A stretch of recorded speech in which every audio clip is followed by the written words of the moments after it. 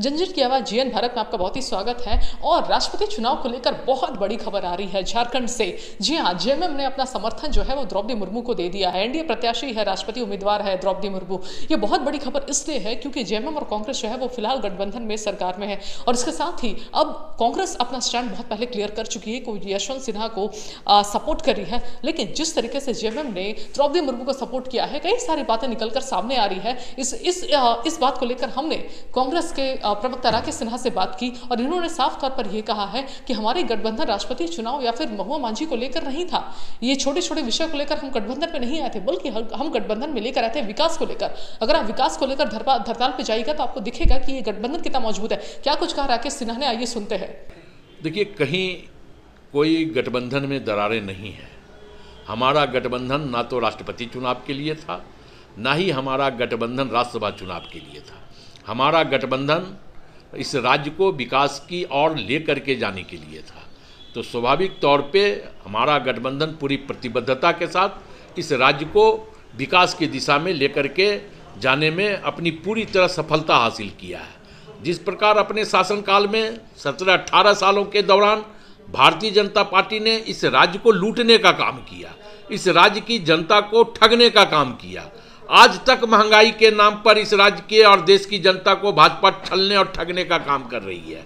तो कहीं ना कहीं गठबंधन जो है पूरी प्रतिबद्धता के साथ राज्य के अंतिम व्यक्ति तक विकास की किरण पहुँचाने का लक्ष्य लेकर के आगे बढ़ रही है और हम उसमें सफलता हासिल कर रहे हैं। गठबंधन पूरी तरह मज़बूत है। तो आपने साफ़ तौर पर राकेश सिन्हा कांग्रेस प्रवक्ता का स्टैंड आपने देख लिया। अब वहीं पे बीजेपी ने घेरते हुए कहा कि कांग्रेस को महत्व उतना नहीं दिया जा रहा है, लेकिन ये बहुत ही जेएमएम को उन्होंने तारीफ़ करा है कांग्रेस ने। माफ़ करिए, बीजेपी ने। कि बहुत ही वेलकमिंग स्टेप है ये जेएमएम का। जिस तरीके से हम तो पहले से कह रहे थे कि वो एक आदिवासी महिला को राष्ट्रपति पद पर बैठाना चाहिए, और जिस तरीके से जेएमएम ने खुले दिल से इसका समर्थन दिया है शिबू सोरेन दिया है, ये वाकई में सराहना के काबिल है। आइए सुनते हैं, बीजेपी प्रवक्ता ने क्या कुछ कहा? उनके गठबंधन से हमें क्या लेना देना? लेकिन झारखंड मुक्ति मोर्चा के इस निर्णय का हम स्वागत करते हैं कि उन्होंने द्रौपदी मुर्मू जी को समर्थन दिया। और अगर ये स्पॉन्टेनियस समर्थन होता तो ज़्यादा बेहतर होता। उन्होंने काफ़ी विचार विमर्श करके समर्थन लिया। खैर, चलिए, इन्होंने जो समय भी लगाया, इंटर इंटरनल कॉल का इस पर हमारी टिप्पणी उचित नहीं है। लेकिन गुरु जी ने एक बार अपने लेटर में दो जगह लिखा है कि आदिवासी महिला आदिवासी महिला हैं इस कारण हम उनका समर्थन कर रहे हैं। तो ये हम तो हमेशा से कह रहे थे। कि पहली बार देश के सर्वोच्च पद पर एक आदिवासी महिला हासिल होने जा रही है। लेकिन कांग्रेस पार्टी के प्रवक्ता उन पर अभद्र, अमर्यादित, अशोभनीय, निंदनीय टिप्पणी कर रहे थे। उसके लिए अभी तक कांग्रेस ने माफ़ी नहीं मांगी। तो उनको जिस तरीके से cutting across the political barrier support मिल रहा है ये बहुत अच्छे संकेत हैं।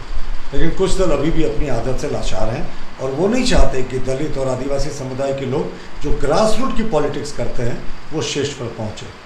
तो आपने साफ़ तौर पर कहा, बीजेपी कांग्रेस का आपने स्टैंड भी देखा और बीजेपी ने तो और जेएमएम ने तो माफ़ करिएगा कल शाम ही अपना स्टैंड ऑफिशियल कर दिया है, क्लियर कर दिया लेटर लिख के कि हाँ हम द्रौपदी मुर्मू को समर्थन दे रहे हैं। अपने आप में ये बहुत बड़ी खबर है, लेकिन जिस तरीके से जेएमएम और कांग्रेस गठबंधन में है, और महुआ मांझी आपको बता दें, इससे पहले राज्यसभा सांसद को लेकर भी कयास लगाए जा रहे थे, लेकिन कि कांग्रेस की तरफ़ से कोई उम्मीदवार होंगे, लेकिन जिस तरीके से मास्टर स्ट्रोक जेएमएम ने खेल दिया, लेकिन इस बार ऐसा लगता है कि मोदी के मास्टर स्ट्रोक में कहीं ना कहीं जेएमएम फंसे नज़र आ रहा है, क्योंकि ये जो आदिवासी महिला का जो मास्टर स्ट्रोक था, कहीं ना कहीं सीएम सोरेन को भी झुकने पर मजबूर कर दिया, क्योंकि सीएम सोरेन खुद एक आदिवासी और कहीं ना कहीं इस मुद्दे को लेकर हमेशा से मुखर रहे ऐसी तमाम अपडेट के लिए आप बने रहिए जीएन भारत के साथ। मैं शिखा श्रेया, अपने सहयोगी राशिका बजाज के साथ। धन्यवाद। अपने राज्य से जुड़ी हर ताज़ा खबरों के लिए आप हमें सब्सक्राइब करें, साथ ही बेल आइकन बटन दबाना ना भूलें।